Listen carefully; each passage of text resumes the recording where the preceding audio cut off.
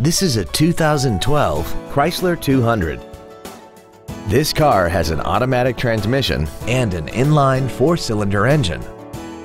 Features include aluminum wheels, a multi-function display, cruise control, a CD player, a leather-wrapped steering wheel, a driver airbag, rear seat child-proof door locks, air conditioning, a pass-through rear seat, and this vehicle has less than 23,000 miles.